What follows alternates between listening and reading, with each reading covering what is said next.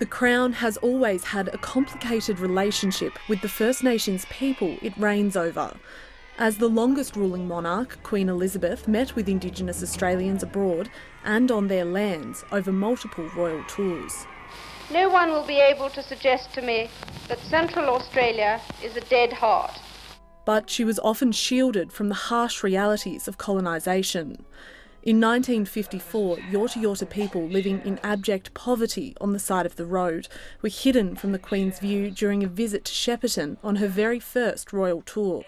They cut down limbs off trees, branches off trees, and threaded them through the fence so that when she come past that area, she wouldn't see all the people camping there. I respect the Queen uh, for all that she's done, but I don't respect her for not acknowledging my people. What happened to my people by her people. The Aboriginal rights movement gathered pace under Her Majesty's reign, and in the lead up to the Republic referendum, she hosted a contingent of Indigenous leaders at Buckingham Palace. It's a funny thing to feel a bit emotional about it. I think for the first time in our lives, we were treated properly as uh,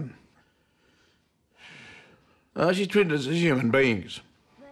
But the 1999 referendum would ultimately fail, something Indigenous Australians are still grappling with. And I bear true allegiance to the colonising Her Majesty Queen Elizabeth II. Senator Thorpe. Yes. You're not a senator the end of the Queen's reign comes as Australia is once again debating the place of Indigenous Australians in their own country, how they should be represented in the Constitution and the halls of power, and what reparations should be paid for centuries of colonial harm.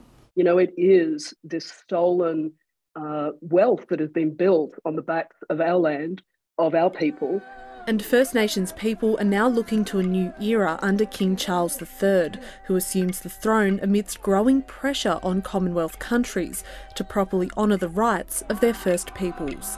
Dana Morse, ABC News, Canberra.